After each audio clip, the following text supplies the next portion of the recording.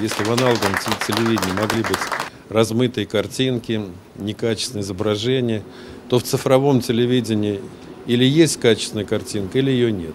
Вот это вот главное для потребителя. 10 каналов, которые бесплатны, А на очереди это второй мультиплекс.